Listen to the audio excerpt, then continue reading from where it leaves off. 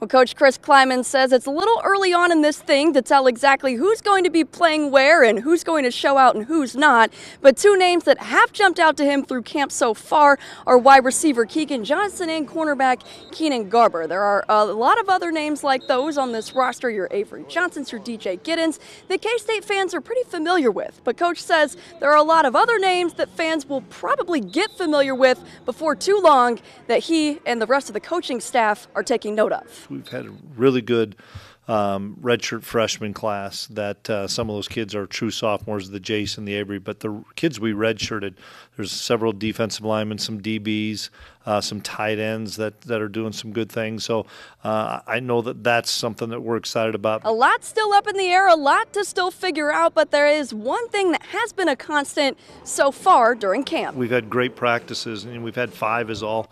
Um, there's always that great excitement those first two days when it's helmets and jerseys, and, and then all of a sudden we put the pads on.